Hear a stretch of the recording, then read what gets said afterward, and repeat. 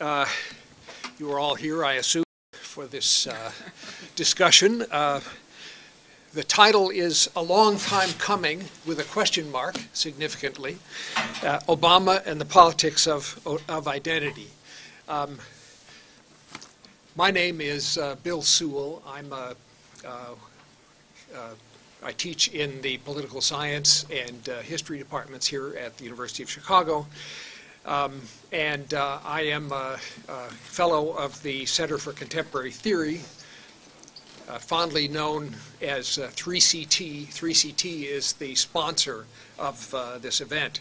Uh, and it's my privilege to introduce our distinguished speakers, Cathy Cohen and Adolph Reed.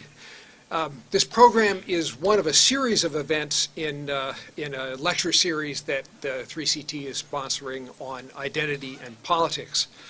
Um, I assume that some of you were at uh, a previous event we held back in, uh, in December um, that uh, was also focused on the presidential election and, uh, and the Obama phenomenon. Um, That featured uh, Lauren Berlant and Michael Dawson. Um, I want to uh, also give, uh, uh, thank the, um, uh, the Franke Center for providing us with space, uh, obviously. And um, uh, for those of you who, uh, who uh, don't know about uh, 3CT, um, there's a sign-up sheet actually just outside the door uh, for anyone who wants to get more information about, uh, about us and our, uh, our doings. Uh, Okay, without further ado, let me uh, introduce our, uh, our speakers. Adolph Reed is a professor of political science at uh, the University of Pennsylvania. He may be known to some of you as the author of some rather critical articles on uh, Barack Obama and the phenomenon of Obamism in, uh, that appeared in The Nation. Um, He is a prolific scholar, most of whose work has centered on one or another aspect of African American politics.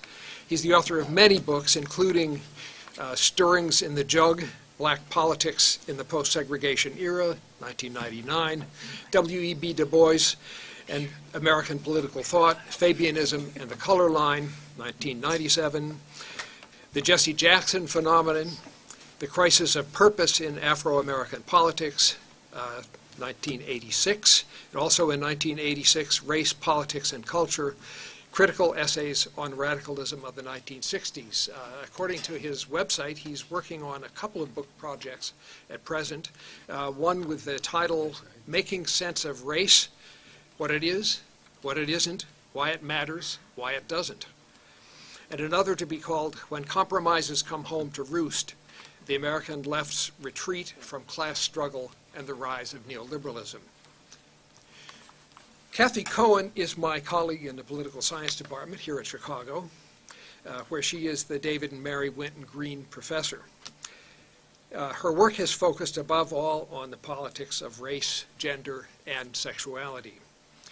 She's the author of The Boundaries of Blackness, AIDS and the Breakdown of Black Politics, published in 1999. 1999, is that right? Yeah, 1999. Yes. All right. A long time coming. Long time coming, long yeah, time long time coming.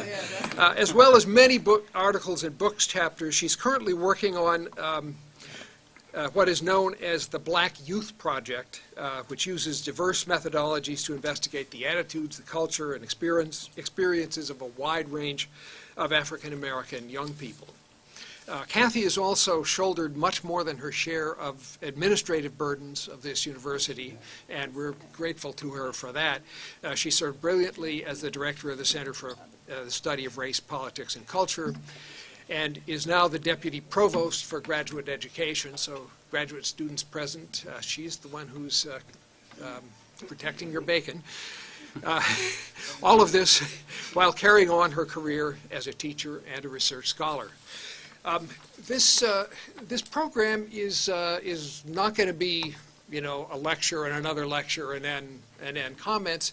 Rather, it's going to be set up as a, as a discussion.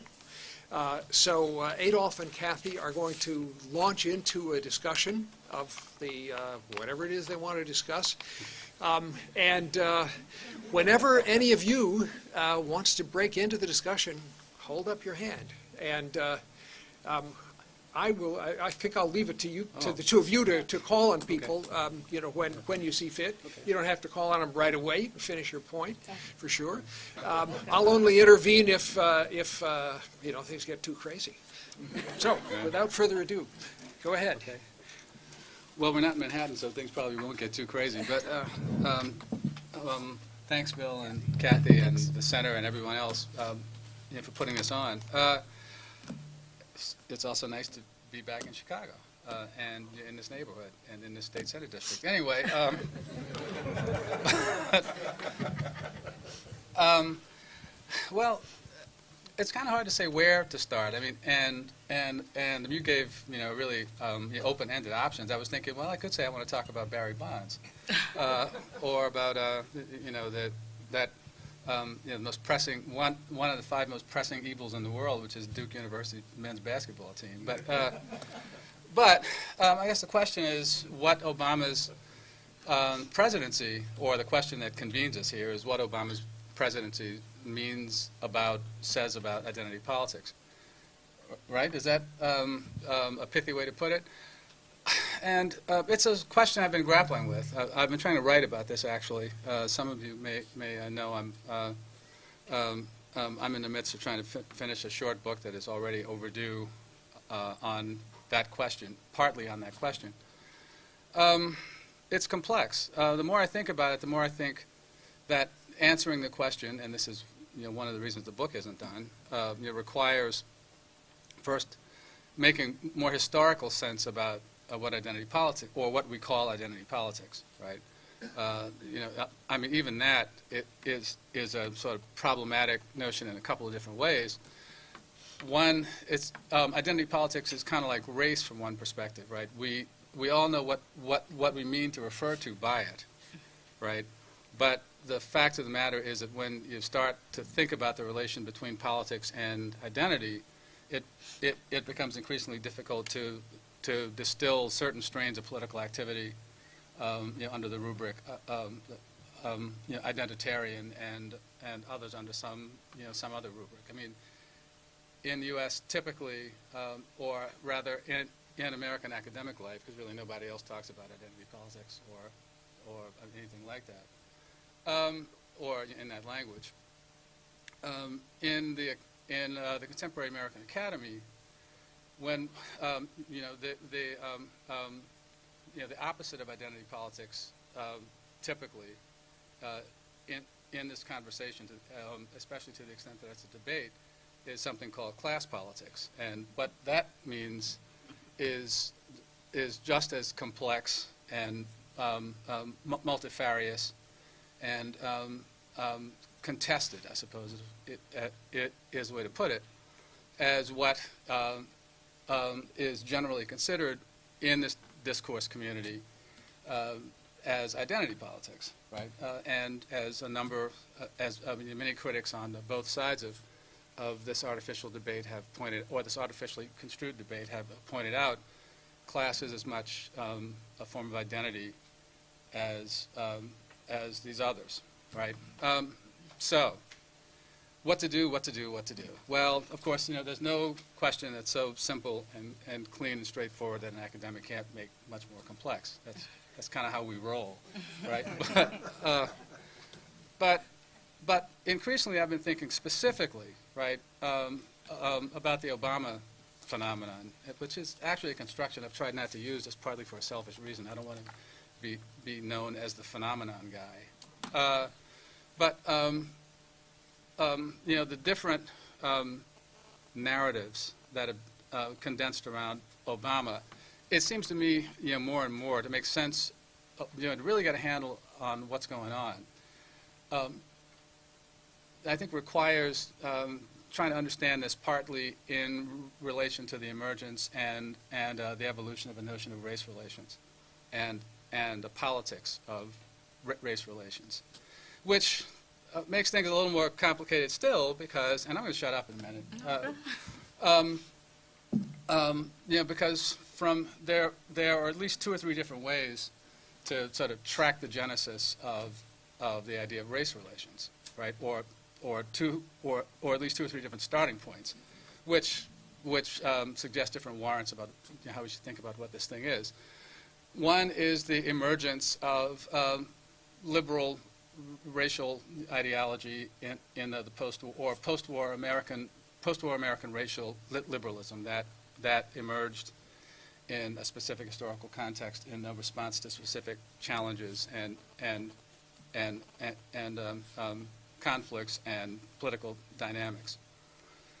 A second is to sort of push the meter, uh, you know, history back a little farther and, um, and um, try, try to situate the emergence of post-war ra- racial liberalism partly uh, um, as an intellectual historical phenomenon, partly out of um, the, um, uh, uh, the academic regime of race relations scholarship that emerged in the 1920s, 1930s. Uh, in you know, large measure, um, you know, around the corner from here, basically, uh, at, you know, as did so much. Um, and um, uh, and and in fact, well, well, I'll come back to that plug later. But um, but but now I have another plug. Um, yet yet a third and more interesting and still more interesting um, um, tack uh, calls for pushing the meter of, of history back a little farther. Uh, um, and uh, to take up the challenge posed by a very, very interesting book um, that came out a couple of years ago and uh, um, that apparently no one's paid attention to because people were apparently wait, waiting for the apology, you know, you know, for Booker T. Washington to come out. Right? It is, you know, you know, that time in our history, it's always time for a new apology. Uh, but, uh, and, but an historian um, named uh, Michael West uh, did a book in, uh, that was published in 06 called The Education of Booker T. Washington, in, in, uh, in which he lays out the very interesting argument that Washington was the founder of the notion of race, of race relations, not as a theory, but, but, but, but he instantiated it through a kind of political practice, and, and partly through, through his autobiography. In the sense that, um, and the story that you know, Michael West tells it, is that, okay, for, from, say, from whenever you want to start it, right, until the Civil War, um, the way that you know, black Americans figured into national political life and to national political discourse was, of course, primarily as the Negro problem. And the form that the Negro problem took up to emancipation was, you know, what the hell are we going to do with them? Uh, um, we can't, you know, can't, can we keep them as slaves forever? And if we can't, then you know what happens? Can we absorb them? You know, everybody knows, you know, the Thomas Jefferson story, who was convinced during the daylight hours that the races could never co- coexist. Things looked a little differently, you know, once the sun went down, apparently. But uh, um, and then with, with, emancipation after the Civil War, um, the nature of the question changes. And in fact, you don't talk quite so much about the Negro problem because black people uh, are um, in this 30 year period of um, contestation um, uh, geared toward establishing, well, not geared toward, but that was substantively um, driven by um, by efforts to establish what, what, what an autonomous and an independent life, you know, with, you know, within the American political economy and, and the polity would, would, uh, you know, would look like, you know, what forms it would take, how it would be enacted.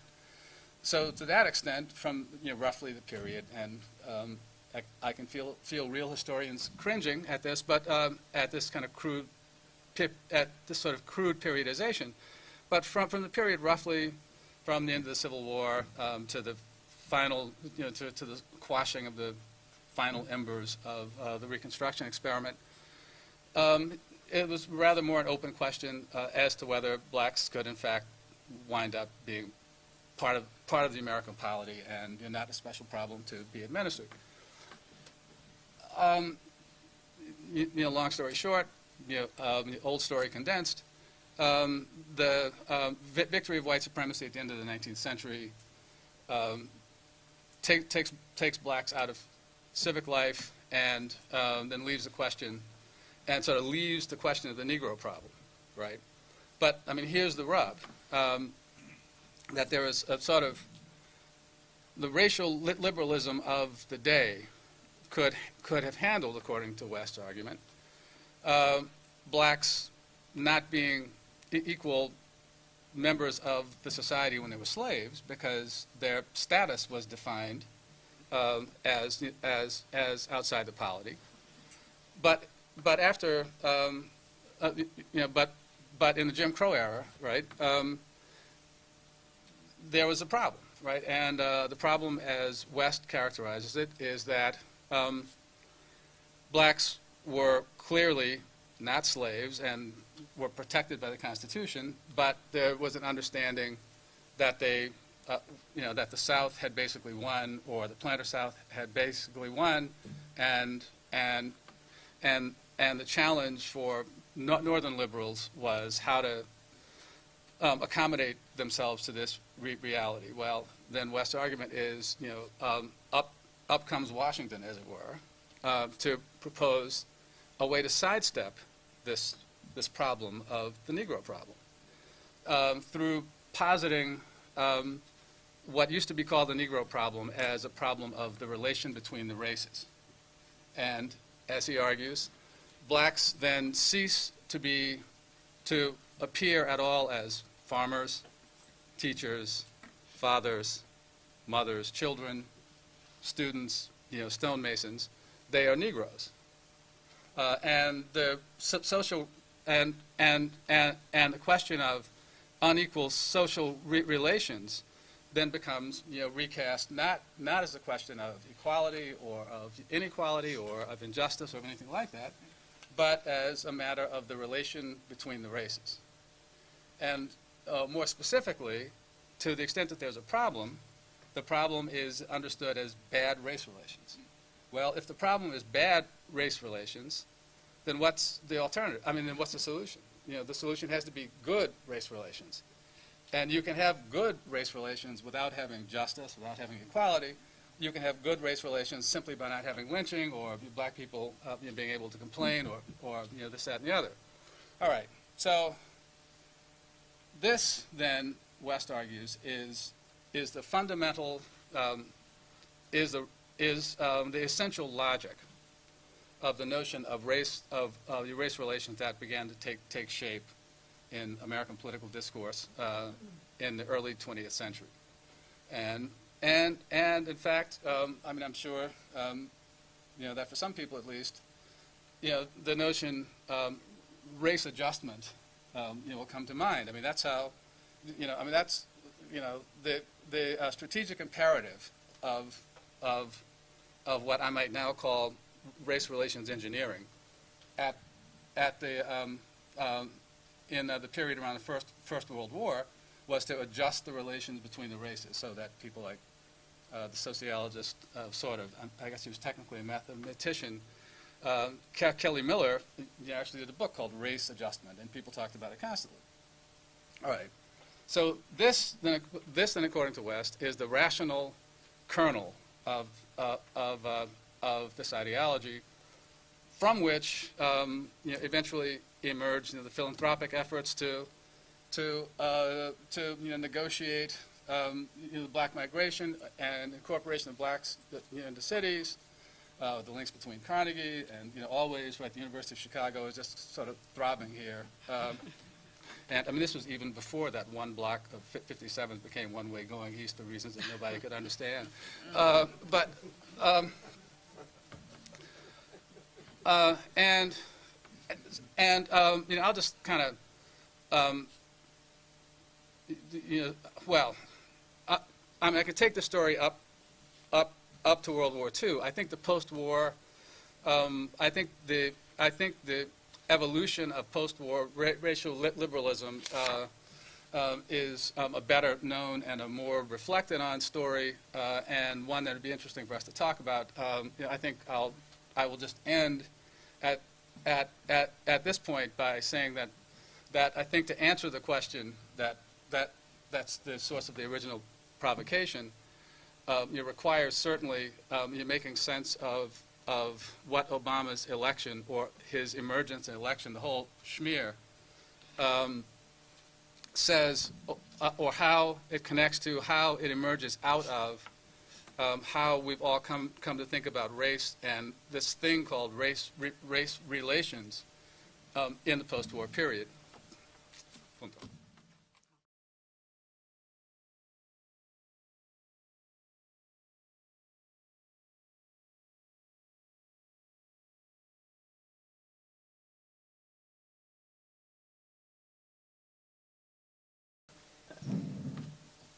Don't see any hands, so I'll go forward. Okay. Yeah, All right, so, um, uh, first I want to thank 3CT. I want to thank everybody here for coming. Hopefully, we're going to have an engaged, contentious, exciting discussion. Uh, I said I was thrilled to be here because Adolph is probably at least one of the people who is more uh, negative about Obama than I am. So I had a little cover, so to speak. Uh, and I should start by saying I'm not, you're not going to like this, not necessarily negative. You're like, oh, she's backtracking already. Um, I got to live here. I got to live here. Yeah, Um, subcabinet. That's right. That's right.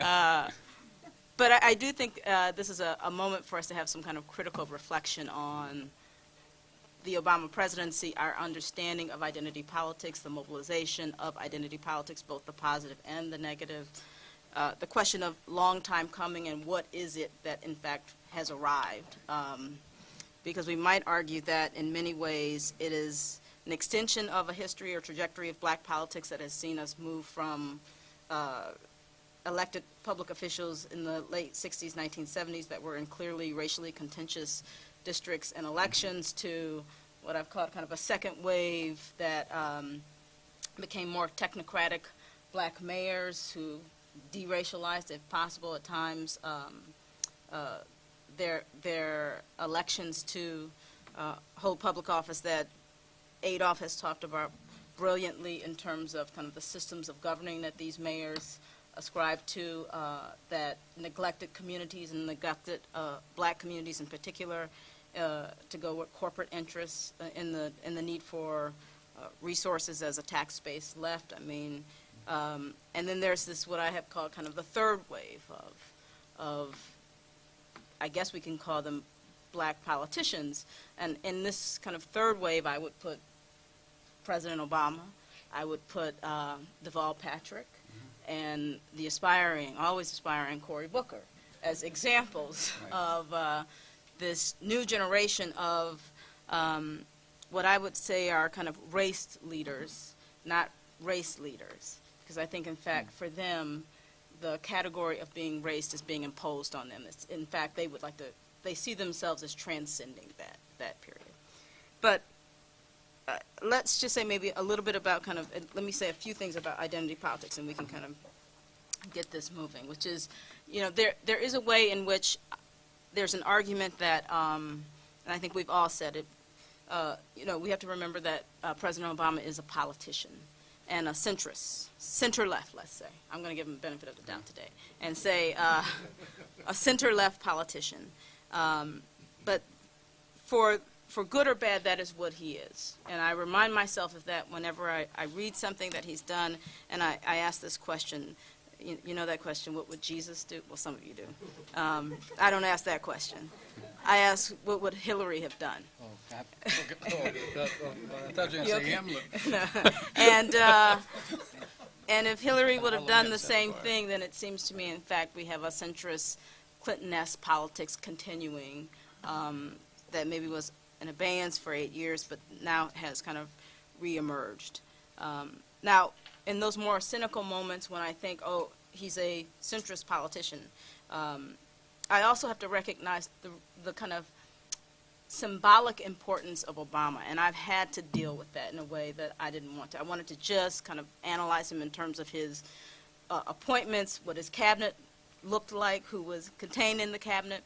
But every day I'm reminded of the kind of symbolic importance of Barack Obama to all sorts of people who have been marginalized, made invisible, uh, neglected, and who have been silenced. Now, I might make the argument that in many ways their lives do not change with President Obama.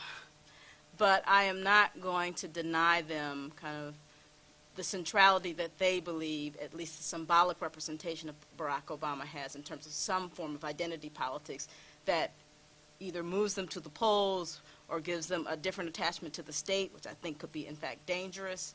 Um, but, you know, when I went into, I think it was Subway, and the young black man was waiting on me, he was like, hey, hey, we got a black president. I was like, yeah, I know, I know, you know. Uh, and, uh, you know, I've had, I, I remember uh, the day of the election, going out to get the paper at 6 a.m., and there were these two young black men with their hoodies walking down the street. Now, you know, I wasn't worried. I was behind my gate and everything, but uh, but they were, and I wouldn't have been worried anyway. But they and they said, "Hey, we're going to vote," and it was like, wow, you know, I I want this to happen, um, but then there's the question of kind of the long-term impact of this type of identity mobilization, and. Uh, I worry about identity in the other aspects of what I would truly call identity politics, and really the history of what we've seen with identity politics, especially in the work that we do around kind of black communities. Mm-hmm. We, we've both seen kind of the demobilization of poor black communities when in fact black elected officials have neglected the needs of those communities and have decided in fact that their reelection uh, campaigns are, are probably um, advanced by demobilizing those, those communities.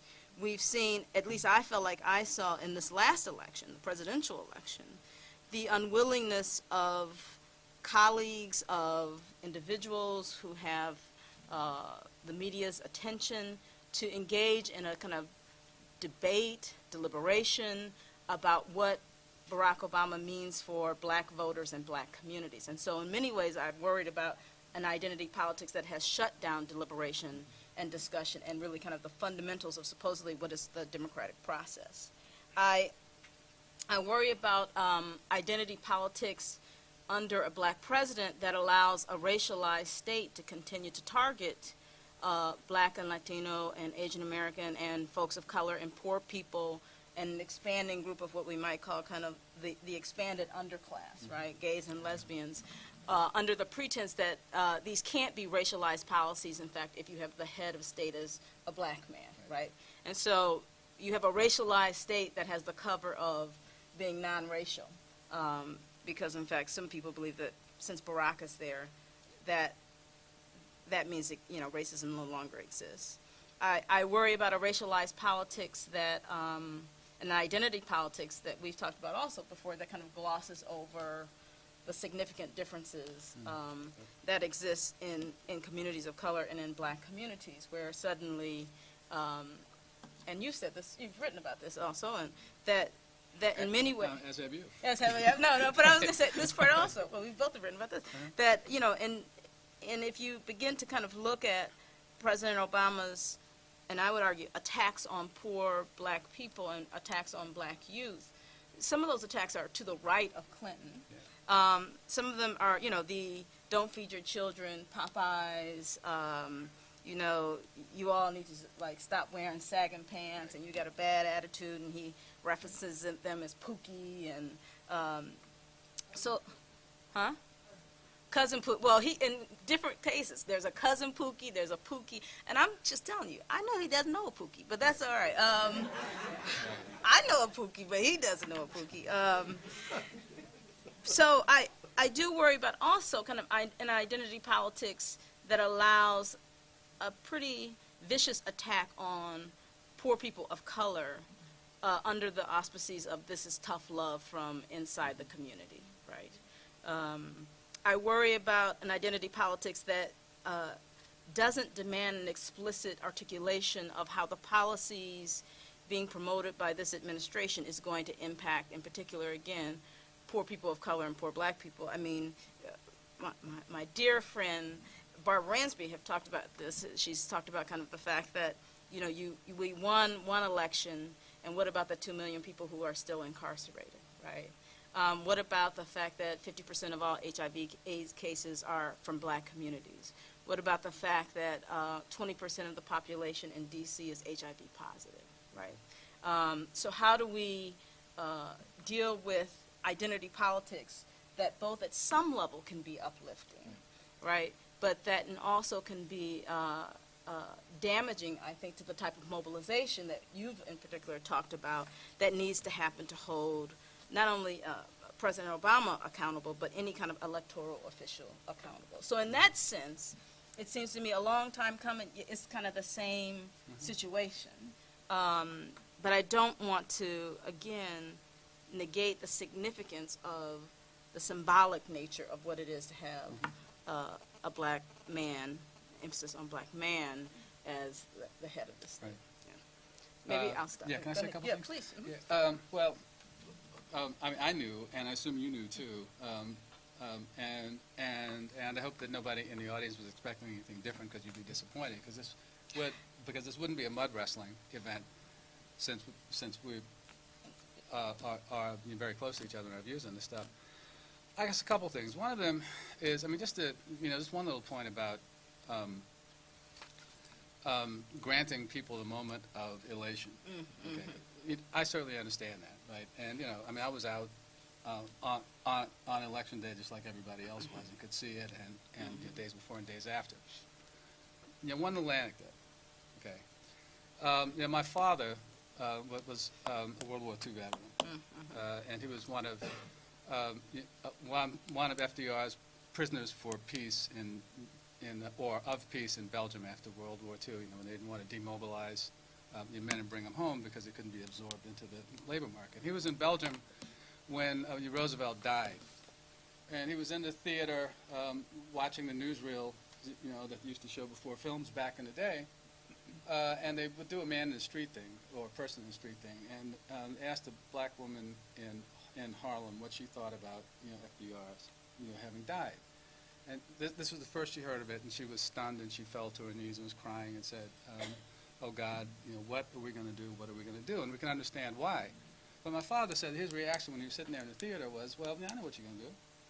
You're going to get up and go downtown and clean that white woman's kitchen today, just like you did yesterday, and just like you did tomorrow, right? So I mean, it's one, you, and it it's got to be necessary to hold both both things in one's head at the same time. I mean, you know, for us anyway, because that's part part of the curse of doing what we do for a living, right? Right, to hold both, the but to hold you know to hold those you know to hold that co- contradiction in one's head. Uh, you know, to appreciate, cherish, and even revel in, you know, the moment of elation that that people have. It's kind of like the church thing, as far as I'm concerned. Uh, but so, and that's one observation. I think the other, um, it, uh, you know, has to do with with your last point. I think um, that it, you know, I think is right. But this is exactly the thing I've been trying to grapple with. That um, there are ways in which this is something different and in which it's not something different at the same time.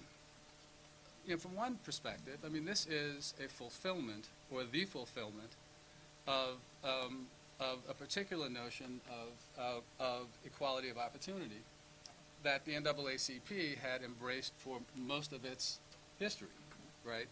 Uh, and it and even strains of black power, right? I mean, I remember Na- Nathan Wright or or or his brother, one of the Wrights, you know, the Black Wright brothers, uh, you know, laid out as as as an agenda for black power in the late 1960s that black people should be 12% of everything, right? 12% of the corporate uh, boards, 12% of the unemployed, 12% of everything in the middle.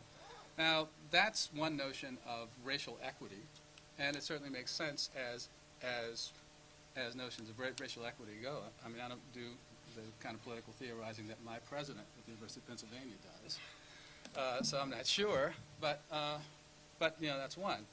And there is a sense then in which um, Obama's election is a fulfillment of one of the contested, um, or you know, one of the objectives of of the contested um, struggle for you know, Black Americans um, justice in the United States, right?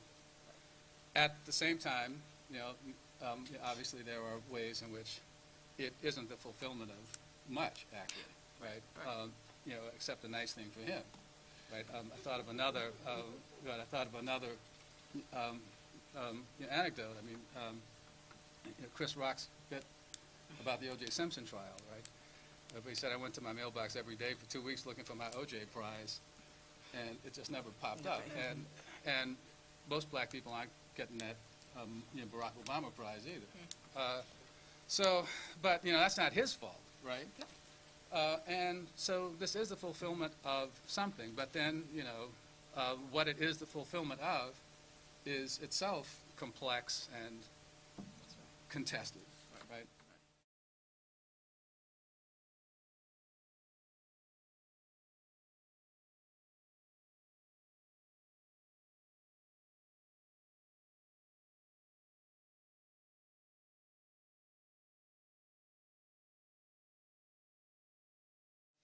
I, I was gonna uh, agree, and people should, oh, you got a hand up, already. but, uh, let me, I'll just finish this, it'll take all of one second, which is, there, there is this kind of question of demographic representation, but then it gets even more, um, difficult, because in fact, who does he represent, right?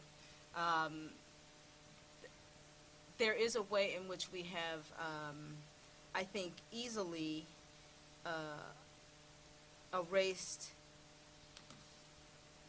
the kind of the his own kind of immi- immigrant history by a nice uh, gesture or categorization of African American. Now, part of it, I think, is the way in which, in this country, we generally can't handle, right, the complexity of race and the ways in which folks of color, in particular, um, can have kind of multiple relationships, both to a racial and ancestry, ancestry that is here and elsewhere and things of that sort. Yep. Now, he, he, I think, also has, um, I dare say, um, manipulated that also, right? So there's a, there is a way in which I feel like, and I think you would probably agree, that uh, there is a movement in terms of his racial promise, I would say, his racial status and his racial promise. Um, and so he can uh, be a quote unquote authentic black man who can preach about fatherhood, even though we could question kind of what is the what are the indicators of good fatherhood? And if part of it is being present and you're an elected official and you're never present, we might wonder like, do you have the status to talk about fatherhood? And in fact, Uh, we could also, pardon me, but, you know, we could also question what it means not to have a father, since he didn't have one and he's president, Right. right? I mean, it didn't handicap him very much, so, Exactly, right.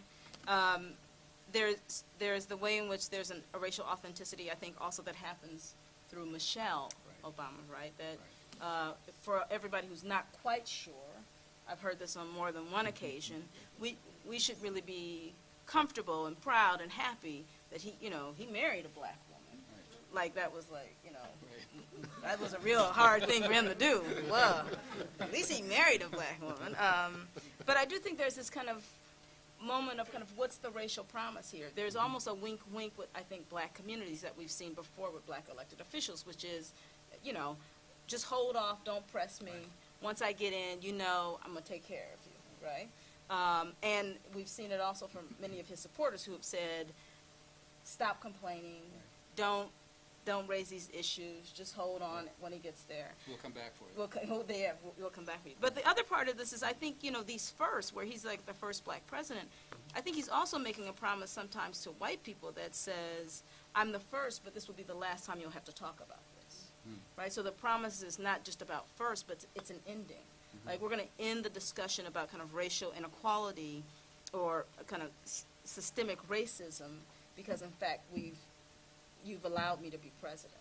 Uh, You know, I just think the kind of political, uh, Bob is disagreeing, but the political, I think, that's good, that's good. I think the political landscape just changes significantly, right? Especially when, whenever there's a kind of, uh, an office that's not kind of based on a racialized districting, right? So his, his kind of constituency of legitimacy, I've said this before, is not the black community, right? His lis- constituency legitimacy were really those Iowa voters who said, you know what, I'm gonna, uh, white Iowa voters who said, this guy is viable. Yeah, right? although if you want to go back to basics, it's these people right here. Oh, well, yeah, his, uh, his Hyde Right. Park constituency? Yeah, right, and this is Uh, where, uh, uh, this is where the baby came from. Well, Right, So, I mean, let- let's, It- let's be real about it. I don't, I don't think it's, well, I don't, I don't think this group, I- as No, no, much no, as I no, no, love them, no, no. they don't have enough power to give anybody legitimacy, right? Because they, No, but I mean, They've at the already opening of written the off. career. oh, absolutely, Right. this happened, happened in Hyde Park. Right, and then moved degree. out from there. Right, Right. but it wasn't because of No, no, this no. group. Not, not this No, group, I mean Hyde Park in general, right. Right. There were two people who had hands, Martha. Um, well, thank you very much for your comments. Um, I'm wondering, what if we move our discussion even bigger than Hyde Park and think about it, identity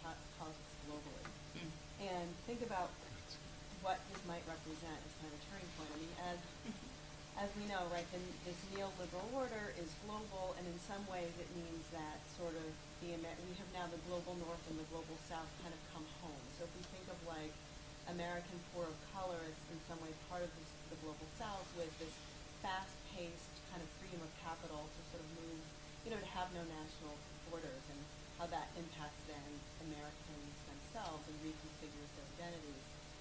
And then now at this same juncture, right, we have a president with some kind of international resume. Clearly there's people around the globe who have, you know, in the same way the young man at Subway had a symbolic representation. I mean, that was happening globally in an interesting way. Um, you know, so we often talk about in the academy, going back to the reference of, you know, placing identity politics in the academy, I mean, another variation of that that's really been forceful in the last few years is to talk, to talk about transnational political affiliation, transnational activism. And I wonder if there's any, if this is a moment to think about transnational identity politics, um, whether in a, on a grassroots way or even on a leadership way, like how do we think about, you know, does he, are, are there some openings for people to push either new theorizing, new organizing, new alliances globally around some kind of transnational identity? Well, I mean, yeah, it's an interesting question. I mean,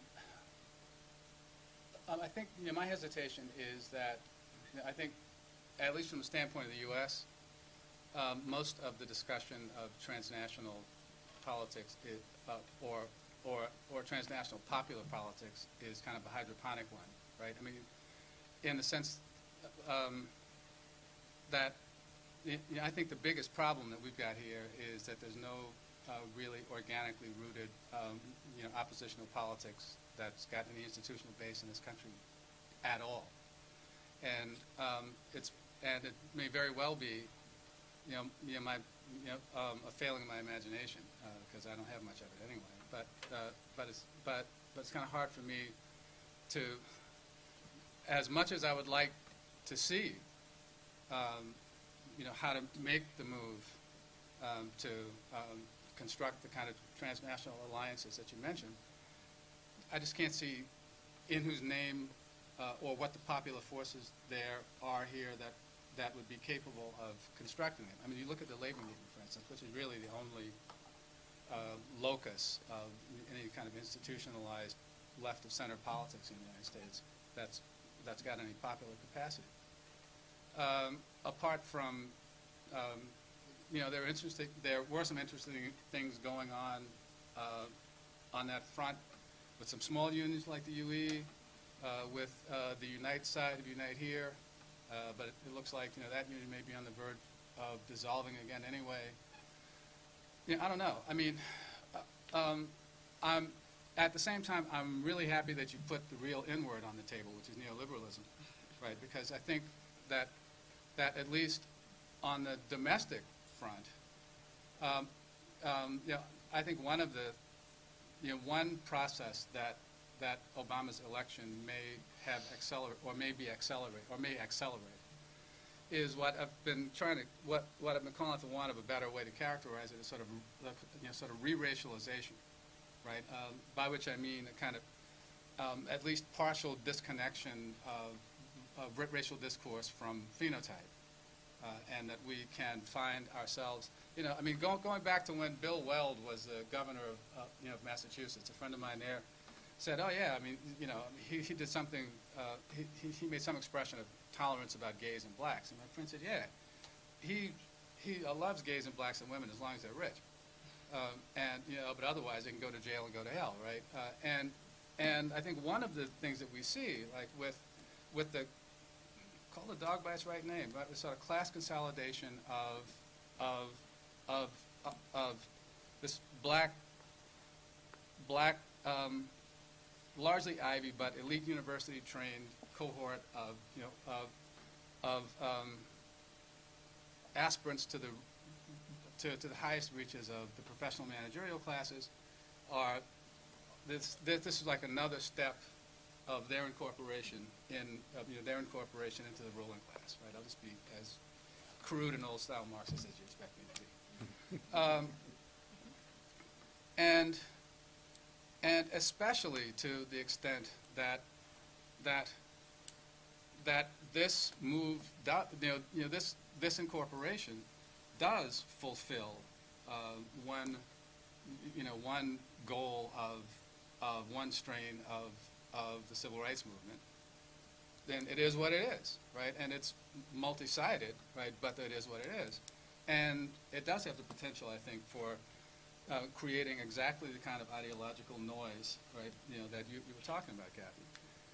Um, while, and while further cementing, see, I think one, one of the things that's, that, that's happened with us, and granted, I mean, this sort of take, takes us back, you know, from, from your question to, to the earlier, um, you know, brief about, um, you know, the debates around what identity politics is, is that increasingly over the last 25 to 30 years, we've, we've found ourselves in American political discourse in which the, the only, in fact longer really, the only recognized language of injustice is a language of ascriptive injustice, right? Um, ra- racism, sexism, he- heterosexism, you know, et cetera.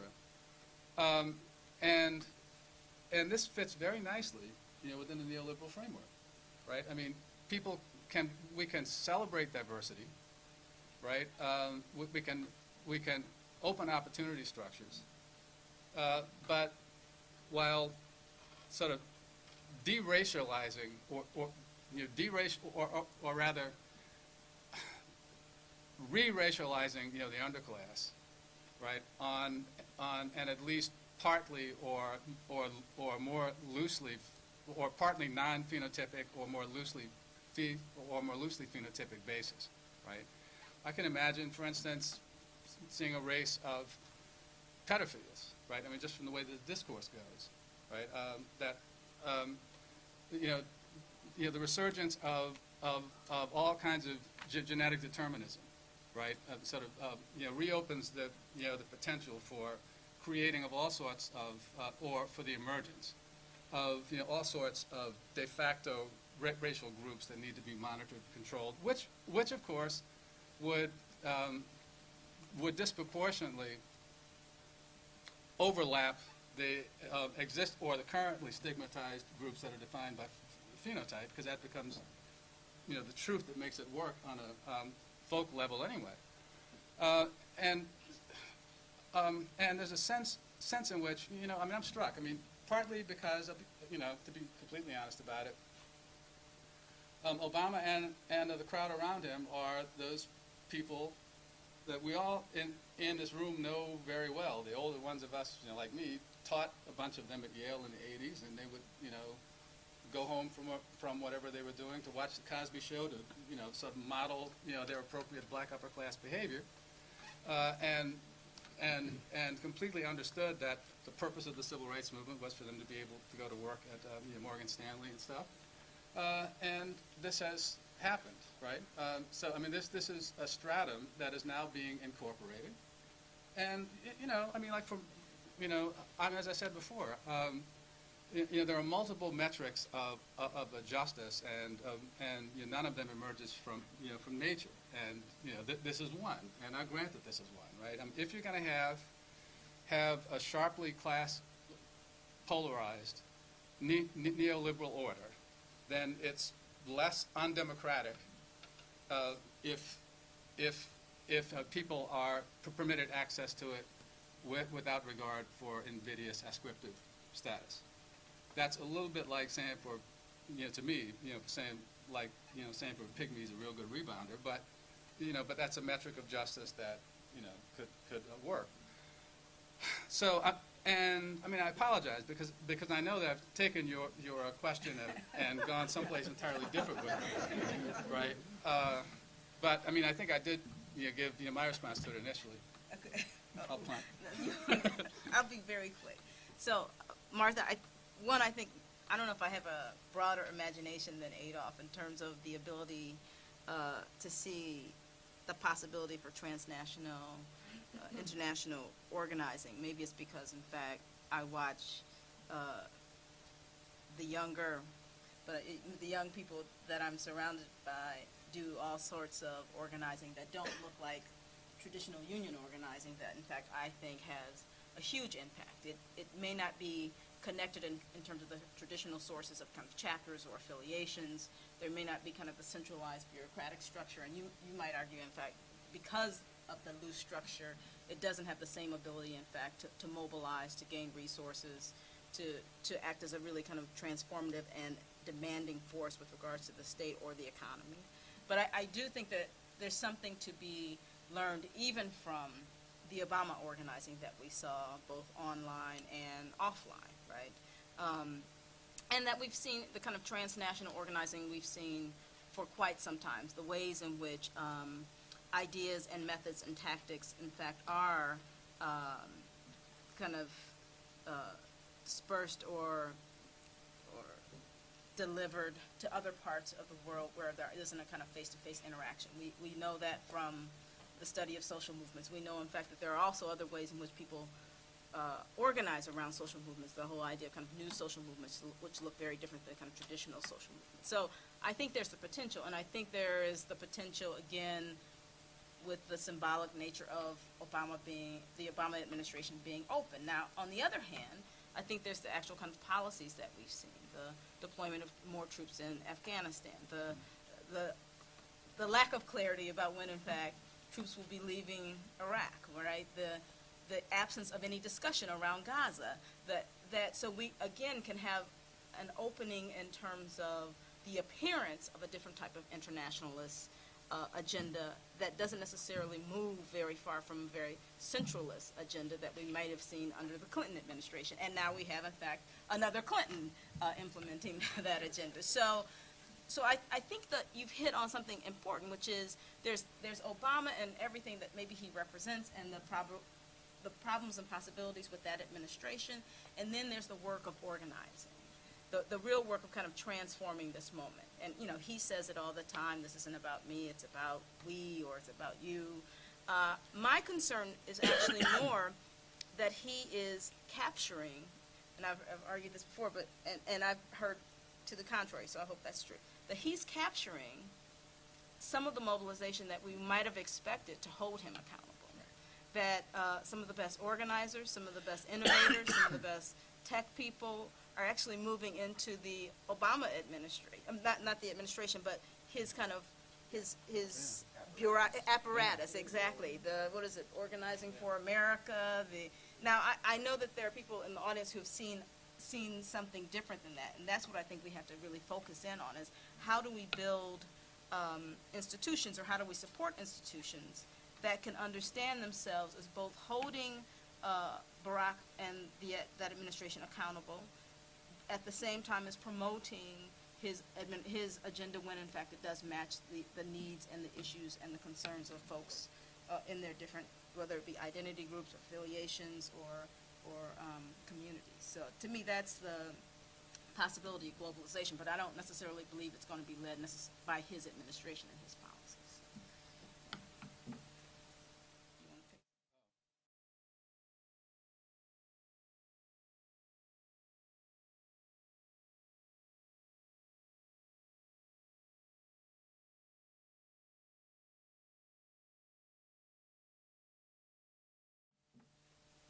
you wanna pick some? Oh, about you? So I have a, uh, a couple of questions. Um, one, I guess, for both of you, which is uh, to say a little bit more and and speak perhaps in a more nuanced way about how you're conceptualizing identity politics. I mean, is identity politics, pol- to- for, for politics to be identity politics, does it have to be predicated on, say, a uh, essentialist conception of identity, uh, uh, or uh, alternatively, you know, as Anthony Appiah might say, is that identity politics politics is predicated on the too tightly scripted conception of identity, or is identity politics and any, any, any and all politics that, that, that, that, that, uh, alcohol minority, uh, uh, abuses, uh, uh, race, I mean, racial identity politics or identity, uh, uh, as, as a political consideration. It seems to me that those are very different ways of thinking about identity politics. And if you want to say they're all identity politics, then it seems to me, uh, still important to distinguish between the kind of identity politics we're talking about, but it seems to me how we think about, you know, identity politics different, whether we're talking about one of these or the other.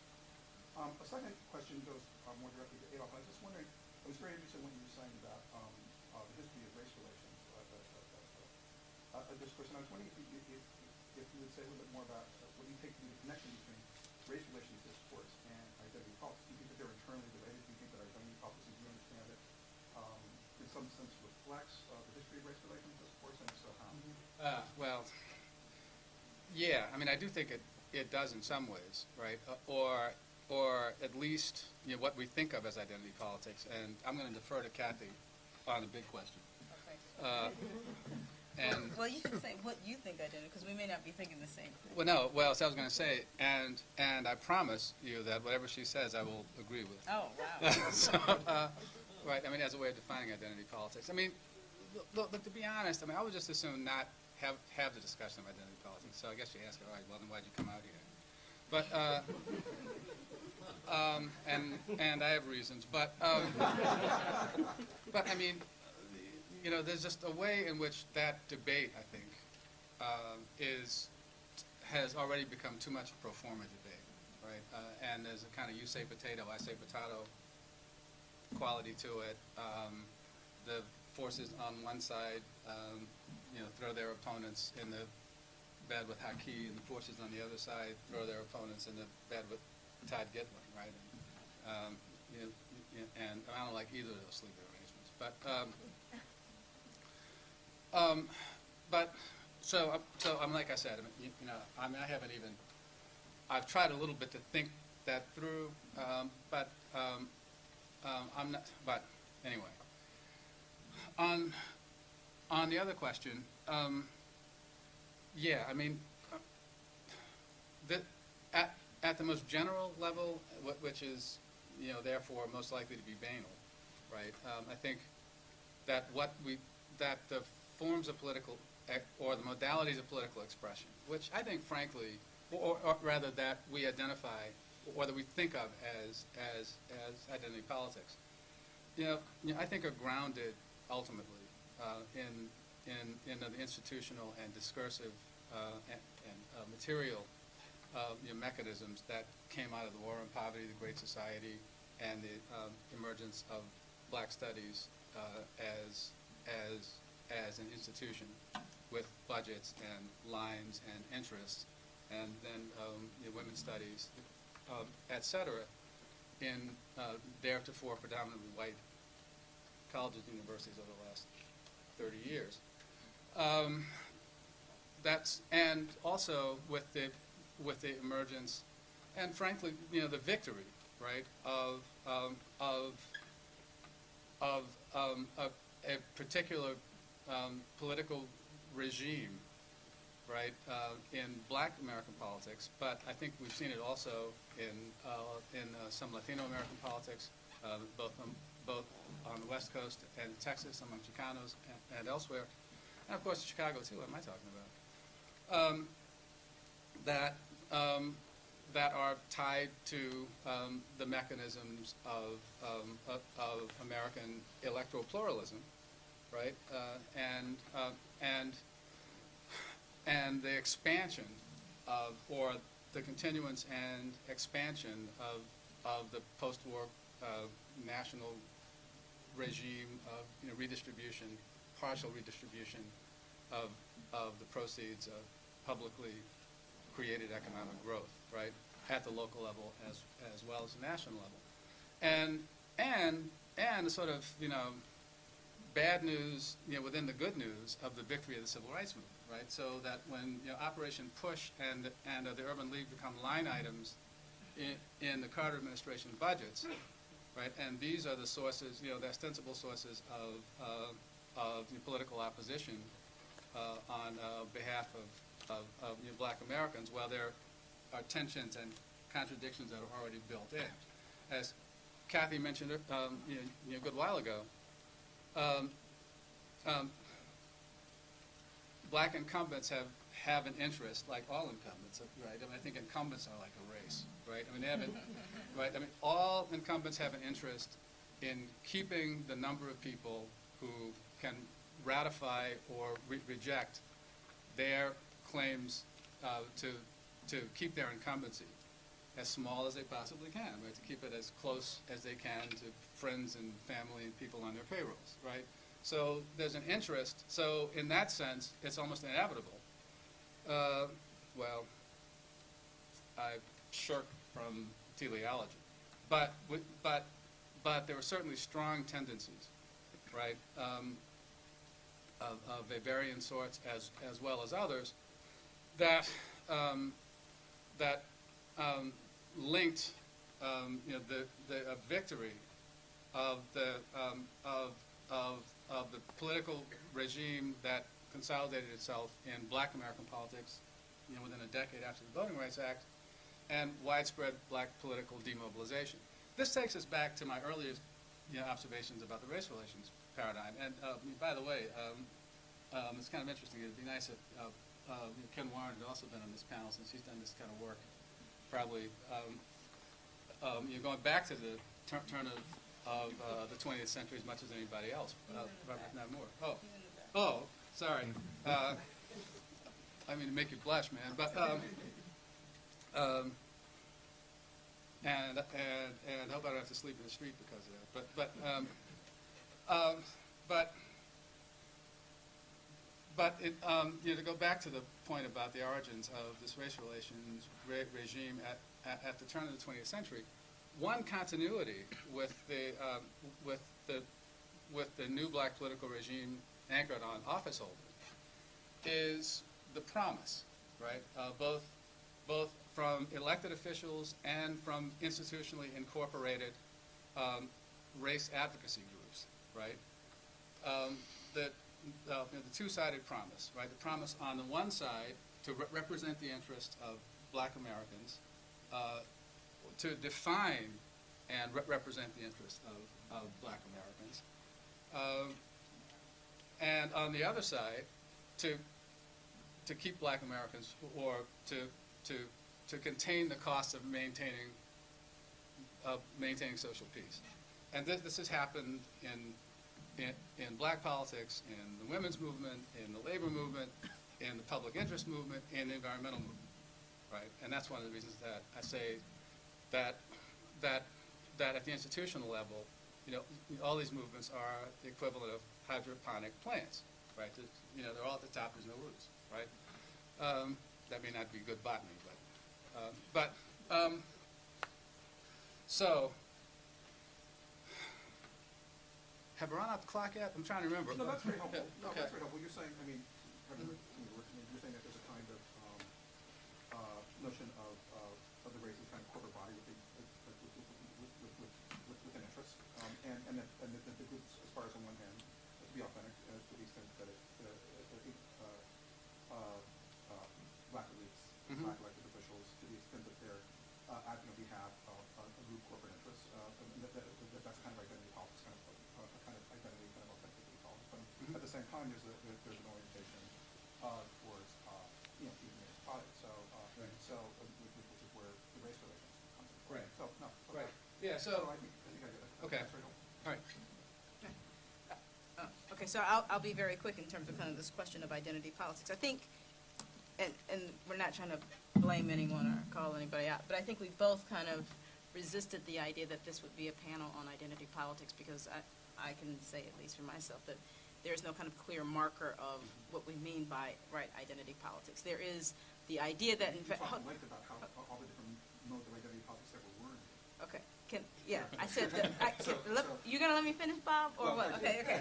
So, so, uh, do you wanna let me finish? Y'all do? So, there is a marker, if we could say in the nineteen sixties and nineteen seventies, where we see the emergence of a discourse around identity politics, right? And we can also see that there's a kind of substantial literature that talks about the ways in which uh, there's a politics surrounding uh, groups of individuals who understand themselves to have a shared oppressed uh, uh, experience, responding to that um, experience and kind of articulating their concerns in a framework that also uh, makes kind of primary their, that identity category. It could be blacks, it could be women, uh, today it could be gays and lesbians. Now, what I think we would both kind of bristle at, so we can say that objectively, we can see that this phenomenon called identity politics, and this is how, it, in fact, it has manifested itself in the political arena. I think we both would say we don't believe, in fact, that there's a shared perspective. There might even be, to some degree, a, a somewhat common experience, but the idea that there's an articulated shared perspective from that group goes back to the role of elites here and the ability to kind of dictate kind of the narrative of the experiences of that group and therefore kind of diminish the significant differences that exist within that group. And that thing becomes something that's called identity politics, right? So that's in fact, you can agree with that? Yeah, I totally So, so the, so, it, but I mean, the other piece of this, right, is that for lots of different scholars, there's a question about kind of the, the periodization of identity politics. None of us really believe, in fact, that identity politics suddenly appears in the 1960s and 1970s. We know, in fact, that the labor movement could be called identity politics. We could say that early evangelical movements were called identity politics, right? So when we're talking about identity politics, we're talking about the phenomena that has been designated as that in the academy and trying to explain kind of, if we take identity, or what I was trying to explain is if you take something called identity politics, what are the negative implications of an identity politics as I understand it as located in the academy? Is that going to answer your question? Somewhat. Okay, you know what, okay.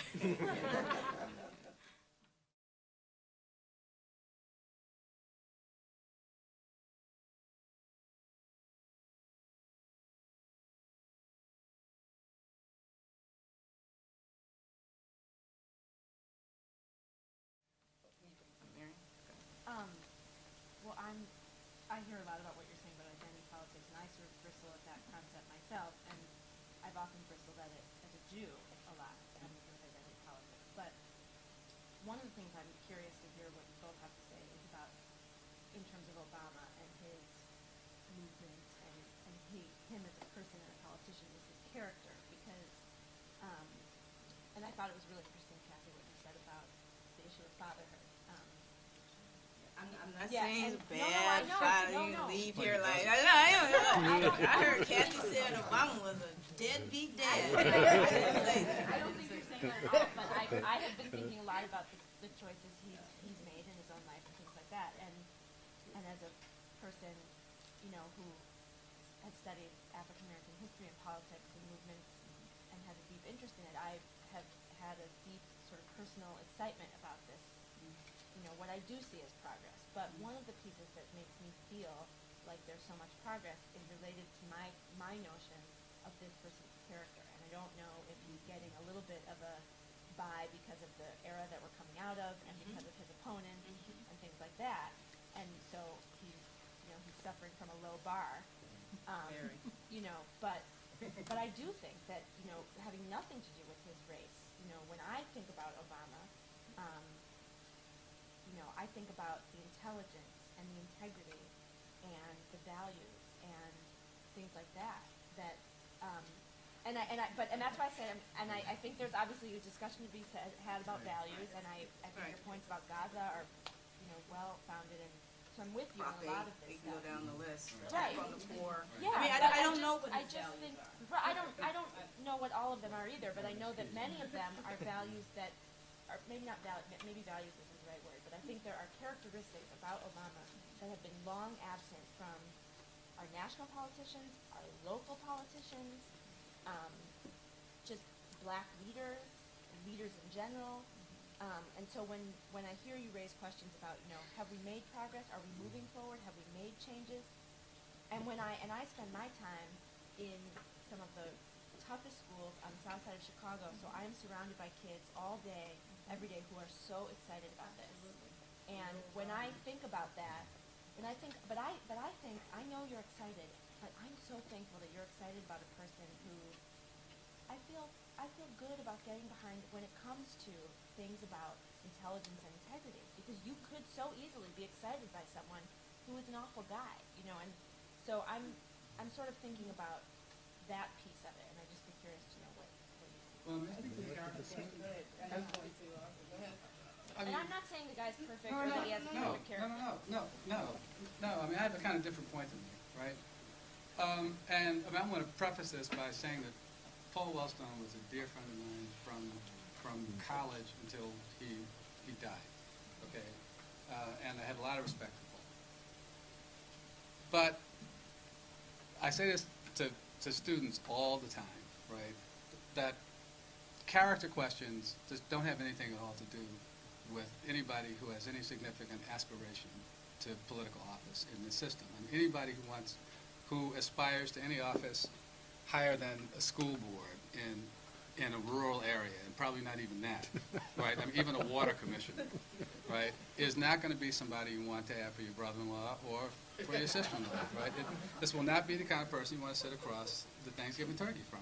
It, it, it, it's just not the way this thing works, right? I mean, they aren't real people in some sense. They're like holograms, right? That, that are created by the forces that they think they have to respond to, right? Uh, and, you know, that's what I think ha- has, has been one of the crucial mistakes, right? Uh, you, you know, one of my, frankly, one, one of my greatest personal frustrations about what's happened to left politics in this country for the last 16, 18, 20 years. I mean, this notion, I don't know. Um, I mean, I once said to a friend of mine that it seems like I forgot to set my clock back one night, and I woke up the next day, and and and and all of a sudden the whole left had decided that we were going to elect somebody, you know, to do stuff for us. Uh, you know, uh, you know, I mean, we got more out of Richard Nixon, right, for the things that most of us in this room are concerned about than we got from Bill Clinton. And it's not because Nixon was a better person, obviously. It's not because Nixon cared more about us. I mean, frankly, um, you know, I'm sure when Clinton had his crises of conscience at 3 o'clock in the morning and, and tried to imagine, you know, the image of America that he wanted to see, it was a lot closer to what most of us in this room would, would want than Nixon's vision, because mo- most of us wouldn't even be here in Nixon's vision. So, so, so be very careful about that, right? Uh, and and as far as the intelligence stuff goes, you know, I mean, I think one one of the problems that maybe can be a benefit of being old is that I can remember the Kennedy administration, and pardon the crudeness, but all those smart motherfuckers there uh, conducted a genocide in Sou- Southeast Asia. Um, you know, we got Summers and these guys with the economy now. Um, you know, smart Right. You know, smart doesn't cut a lot of ice with me, actually. Uh, and, and in fact, it can be scary, right? Because the one thing that we know is that these pricey educations, right, uh, and God, especially the law school ones, are are are all about um, um, cultivating the kind of intellectual nimbleness, right, that helps you to harmonize the principles that you want to think you hold with what gets you paid right? Uh, and you know, so I, you know, I'm sorry, but I just, yeah. I mean, I, I would, yes, yes, yes, yes. Um, so I, I would also kind of be careful of this idea of his character, and, and it's because I feel like, one, the bar is very low. I think, you know, a, a lot of what we're understanding now and the euphoria is about kind of, there's no George Bush in office anymore, not just that there's Barack Obama in office. Um, two, I, you know, the, the idea of his values, I, his values to me play a role in how, in fact, he governs. And those are my concerns. And his values so far are mixed for me. His idea that, in fact, um, and I'm not a big supporter of gay marriage, but in fact that there's a way in which certain subjects are not allowed to have the same rights as others is problematic to me. And then to kind of to ground that in um, a Christian belief to me is actually very dangerous. Because in fact, what's to say that the next president who decides that I don't deserve the, the option of an abortion and, and grounds their uh, explanation in a Christian belief, you know, why do I say that Barack is okay and that person, or George Bush isn't on that question? Um, his, I, I'll say it again, his attack on the poor, and I think in fact it has been at times an attack on the poor. It worries me. Um, now, you know, we can all talk, and we've talked about this, we can all talk about personal responsibility, But it seems to me, part of the Christian ethic is you take your first, yourself first. And part of what he has to do before he attacks other people for being personal responsible is to also talk about the privilege that he has, to the ability to have kind of nannies and uh, disposable income and private education. That gives you a certain type of ability to parent that's very different, in fact, when you're working two jobs and you're trying to figure out daycare and you, you know, you may have just lost your job. So I, I, I think, you know, there's a stretch there that I would like to see in terms of his values and character. Um, I think there was one other thing I can't remember about his values and character. Um, which, which is the other thing, is not only intelligent, but one of the things I hear people saying all the time, which is he loves his wife. And uh, I, I think he, maybe he does. I- You know, um, I'm just not sure, again, it's relevant to my assessment of him as a president, unless what we're suggesting is we want a model of, of um, hetero, heterosexism that can in fact be modeled. Um, and if that's the case, then I, then I want to push back against that also. Um, so, you know, he loves his wife, okay, he didn't have sex with an intern. To me, the question is kind of a power differential there, not the sex. Um, and so I think, you know, there are all kinds of ways in which this idea that he has good values and good characters is really kind of also a, a normative and conservative positioning of, of what we're comfortable with as a country. Yeah, I want to come back to something that, um, that was on the table just a little while ago, and talk about the possibility of this election also. Um, the opportunity that it could open for left-wing politics. Uh, precisely because, in a sense, the way I understand what's frequently called identity politics, is a form of identity like nationalism that denies political economic difference.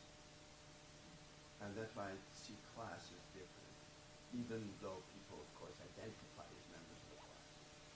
Uh, and it's to establish a kind of a corporate entity that is undifferentiated, but is defi- uh, is defined in terms of gender, of race, etc. And that's an entire discourse that's been bracketed very strongly on the left for 30 years. Now, it could be that there were very good historical reasons why issues of identity were put on the table because they had been bracketed before.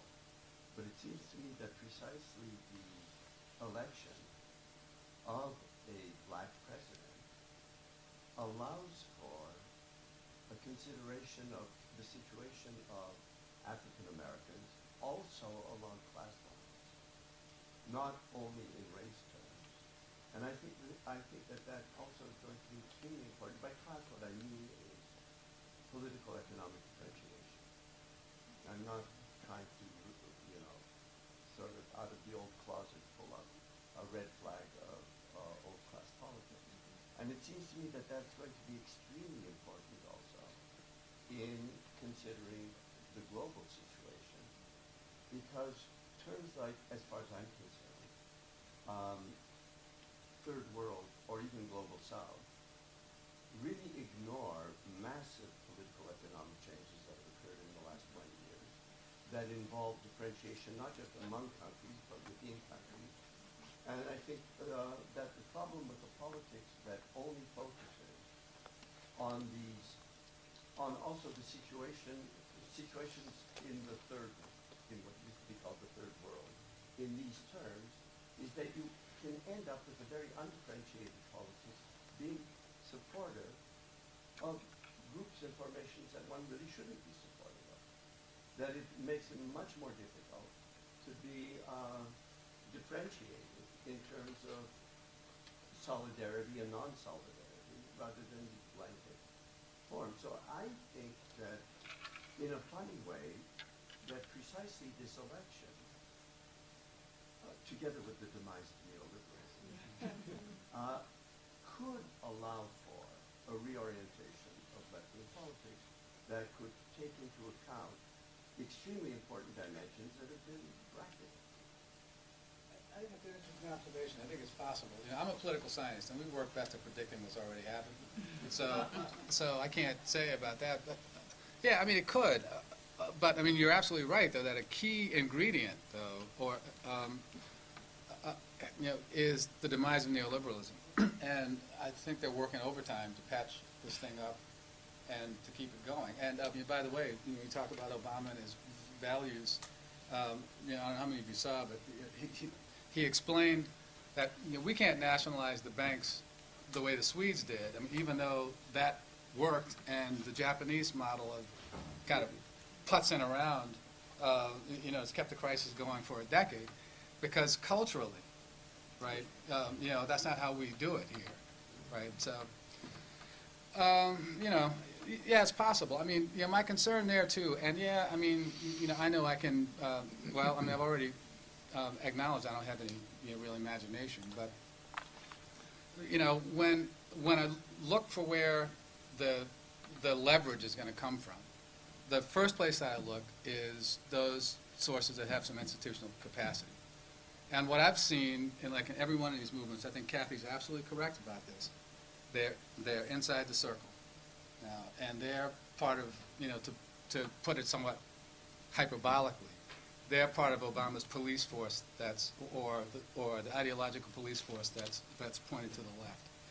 And, yeah, for now. And, and, uh, and the nation is leading the way, by the way. Uh, Hoping, right, because, you know, the 2 AM booty call just has to work harder. But, uh, but, I mean, you could be right, right? I mean, like, it could, yeah. I mean, I can imagine uh, um, possibilities, uh, you you know, ways that this thing could play out over the next few, few years that, that could open space. You know, you know, I just don't see the space now, uh, but it's possible. C- Can I, Yeah. I mean, can I ask why you think, in fact, because you started with having a black president, opens up the possibility for this discourse? Because in fact, it seems to me that in many ways, it uh, works to prohibit the type of discourse that you're talking about. And, and I would go back to kind of the, the symbolic nature of what Obama means for people who have maybe put aside a political agenda that would be at odds with kind of the patchwork of neoliberalism that he's engaged in right now, and instead is still focused on the idea that it's almost being kind of a race traitor to uh, speak out against, you know, Barack Obama right now, uh, and that that has been part of the process throughout this campaign, throughout his rise, and okay, you know, and. Uh, so, so I'm, I'm just not sure how that discourse actually is opened up and who, in fact, um, provides for that type of critical analysis and, and discussion. Because I think, now, I, I know that there are certain organizations that I think haven't been bought off and will have to do that work within black communities. And, you know, I have a, for example, a sister who works in a factory who was a Obama supporter, but she's kind of like, wait a minute, I'm getting a little worried here about my job. So I think some of the reality of, of the economic, political, and social situation is going to kind of make even clearer the distinctions, in particular class distinctions in, in many communities. But the kind of idea that a black president somehow facilitates that, I don't, I don't understand. And I think, you know, what's interesting, I just want to throw something back at, you know, we have not talked about kind of white people's role in, in, in Barack. And there, you know, uh, I just, I think it's interesting in terms of the identity politics. And I think the, the identity politics driving a lot of Barack is all about white people's mm-hmm. identity. Oh, yeah, sure. And their, and their hope that this is You know, going I mean, this sister done. back here's had her hand up for a good while. Yeah.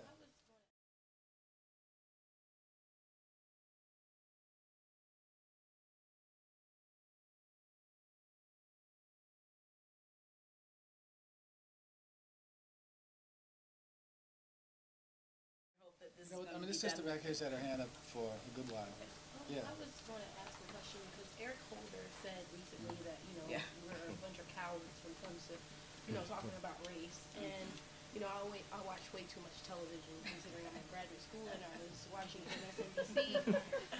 and um, there's a discussion West does between, Mathis, you get more out of that. there's a discussion between Pat Buchanan and um, Michael Eric Dyson. And um, I saw they're going back and forth and just to go, I mean, just to, you know, kind of speak to what Cathy is, you know, pointing to about um, white people. Um, Pat Buchanan was saying something about, you know, if Eric Holder wants us to have this conversation, you don't just throw around insults, you know, if I feel uncomfortable, I don't have to sit at the table, I will just walk away.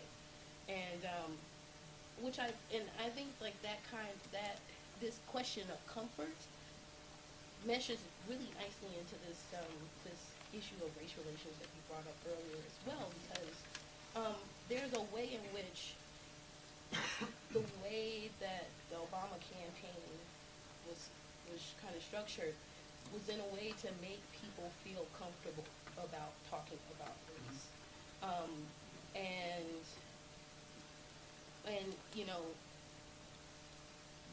and also like thinking about racial relations as familial, you know, kind of like relations, like family relations. So, you know, Pat Buchanan said at one, at one point during the conversation, well, you know, Michael Eric Dyson, you have to take responsibility for your black community. And Eric Dyson, you know, um, says back, you know, rather you take responsibility as well, you know, in, in a way. But um, so, I mean, I'm, this is kind of all over the place, and, and I just want to pose this to you guys. Like, what do you think in terms of this issue of comfort, um, in terms of, you know, talking about race? It's almost as if it's demanded that in order, like, if you are, you know, bringing up race, that it's, you know, incumbent upon you to make those that you're bringing to the table feel comfortable. Um, or, you know, yeah, I, I'll just. You know, I mean, I think one of the problems is, is that, that the categories are just too broad and too evanescent, right? Like, like, for instance, you know, like the statement that race matters, right? Um, Cornel West and David Duke would agree that race matters, but, but they mean, you know, I assume, quite different things, right, uh, you know, on that agreement.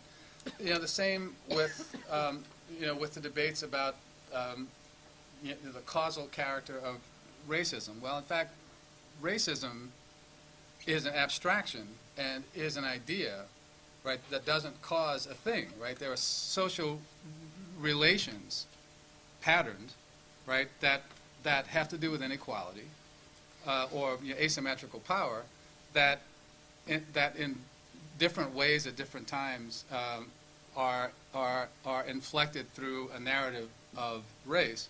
And there are a lot of different kinds of those, right? Um, and the extent to which, which we call all of them by, by the same language, you know, I think gets in the way of understanding what the actual processes are, right? Wh- Which is not to say that, that they, that, that, that they don't have any, that, that all of them, some of them, or, or you know, any of them don't have something to do with, with racial inequality, okay? With respect to Holder's statement, once I heard what it was, I thought, well, so what the hell does this even mean? You know, uh, but, but, but it's like one, one of those cheese puff statements, right? Like, you know, uh, I believe the children are the future, right? I mean, uh, so, and frankly, you know, for most of American history, I don't think white people have been cowardly at all in talking about race, right? I mean, they weren't doing that, you know, it's time to go figure out whose turn it was to bring the cotton crop in. Um, so, I mean, but, but I, but I very much take to heart your, your observation that this connects with the earlier discussion that we're having about the notion of race relations, because that's precisely, you know, um, you know, the kind of discourse that emerges out of this framework of, of race relations that sort of hopelessly clouds, you know, as you say, the language of personal transactions, right? I mean, this, this is how a moron like Shelby Steele, right, can get his 15 minutes over and over and over again, right? Um, the, you- know, because um, whether the white uh, sales clerk in Atlanta airport puts the money in his hand and looks him in the eye is, you know, or, or the fact that she does that is a sign that there's no more, um, the, you know, there's no more ra- racial inequality in the American South, right? It's just, you know, uh, and, and, and it's only because of this clouded, you know, you know, this clouded kind of discourse that that thing can happen. But- But this also speaks precisely to the point that you make about Obama and comfort. Um, you know, this is another anecdote. Uh, um, but, an organization that I work with um, you know, has its office in D.C. and um, the building is owned by two women, um, you know, roughly my contemporaries, maybe a little older, feminist lawyers. They've you know, argued cases before the Supreme Court. They're both white. And um, a couple of years ago, this was like, no, more than a couple of years ago, this was around the, the Senate race. Um, you know, they were hyped, hyped about Obama. And, and one day when I wasn't there, they were talking about him. And one, one of them says to my colleagues, uh, you know, you know, what, you know, one of the things about him that I really like is that, you know, unlike a lot of black Americans, you know, he doesn't have that chip on his shoulder that a lot of them have. Right, and and and um, I just, I mean, I, you know, I'll be honest, I haven't read the first version of Up from Slavery. I, I mean, I read the second one, you know, The Audacity of Banality or whatever it is. Uh, but, but I just saw, you know, I just saw not too long ago uh, that um, um, a quoted passage from the first book uh, where he says that uh, he remarks that he um, was intrigued to learn when he was in high school, I guess, in Hawaii, how how well white people uh, you know, respond to a black person who's articulate and doesn't seem frightening, threatening. See, uh, now you know I've got to say this about the character thing too. It's an interesting observation about this guy in in particular because all you know, all that I've seen you know, about him in the public record is his protean character, right? That he's been, right? I mean, it's like the Music Man in a way. I mean, it, it, it it's it's been a constant process of of invention. Felix Krull, confidence man, right? Uh, you know, uh, constructing you know the the persona with an eye you know, always to the next level up, right? So you call that character, okay.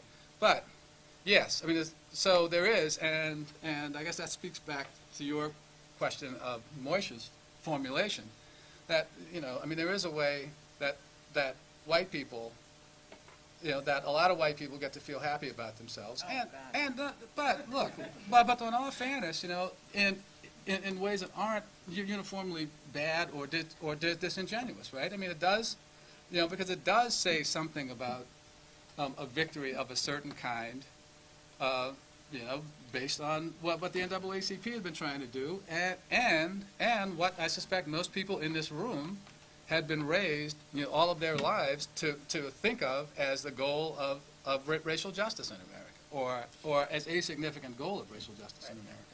Now, I mean, just because we've been raised to think about that, I mean, doesn't mean that it wasn't. Right, but it, it, it is interesting that people could be, uh, you're right, that people can be, and I want to get back to the comfort, um, white people can feel good, genuinely about this. Uh, Even white people in Hyde Park, when in fact they're surrounded by black communities that are not benefiting at all, Right. right, from an Obama effect, an Obama presidency, Right. at least initially.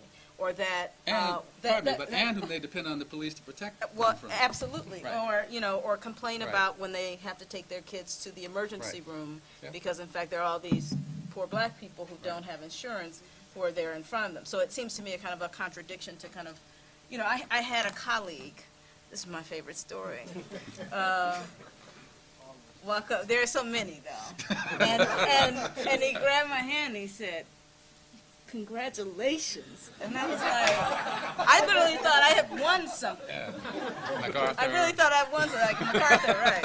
And I was like, oh, Bill don't read my books. Um, so, uh, so I wasn't sure what I was being congratulated for, right? Right. So, I mean, so it, I mean, that's an extreme. We keep telling these stories. Right. But one, one of the things that I will go back to, to Ansley's point about is this idea of comfort, but it's also kind of, I think, a restructuring of the, of the discussion about race and racism, right? So, and I think Barack participates in this, which is this idea, in fact, that this discussion has to be equitable, it has to be fair. We have to talk about racism, but we also have to talk about kind of black people and the threat that they pose to white people, their sometimes unwillingness to do what is right. And, and so I think in terms of this kind of transformation in race relations, um, Barack is playing a role in that. So at the end of that conversation, when, you know, uh, Buchanan says you, you have to take responsibility and Eric says you have to take responsibility, it's like there's this equal dynamic here in terms of understanding power and the historical tradition of kind of the ways in which racist violence and racism has existed in part through the hands of the state in this country. And that's also, I think, something to be concerned about. I remember there, there were two people who uh, made an impression at, when they were talking about kind of the importance of the Obama nomination. One was, I think, and I, I have to find the, the tape, I think when Kennedy uh, was at the convention, he said that I'm supporting Barack Obama so we can have an end to discussions of sexuality and race and gender, like, okay, that, you know, that's it. And then, the night of the election, I remember Bill Bennett on CNN saying, okay, folks, that's it. You got your black president, I don't want to hear another thing from you people about like racism or inequality or discrimination. And it seemed to me very interesting that you have both Bennett and Kennedy professing at some level that the election of Barack Obama, that does it. Okay? So let's move on. Yeah. Um, I don't think we can move on. Oh, I'm sorry. No, I didn't mean. We're, we've already gone past our, uh, our allotted time. Oh, Um, And, I- what's that? Maybe one or two more if you guys. You want to take another? Okay, sure. uh, Question, one, Sure. one more question. You can choose. Oh, wait a minute. I was kinda back, Did he's had his hand up Did for a Barbara long have her hand up? Because she had her hand up. She- She went home? Barbara's like, forget you. that, that emerged with um, the institutionalization of black politics in, in what remained of, of the post, post-war growth regime happened to other movements. So that we accepted, for instance, what I've been calling, um, um, in an analogy to what N- Nelson Lichtenstein refers to as a collective bargaining regime, the permit regime, right? We have marches, right? That um, you know, you know, we've traded building the body count at demonstrations for the possibility of disrupting normal activity, right? So we have marches that go get a permit and and and satisfy the authorities, um, because you know that makes it more possible for us to build a body count at the march. Uh, and then so we and you know, they've gotten a lot smarter about this stuff too. So they herd us down down streets where nobody will be, where we don't disrupt traffic, and we go into a park where no nobody is present but us. So we have to uh, evolve, uh, you know, self-entertainment culture, right? Like the turtles and stuff, right? Uh, and I mean, I don't really go to those things anymore, but but but in but in.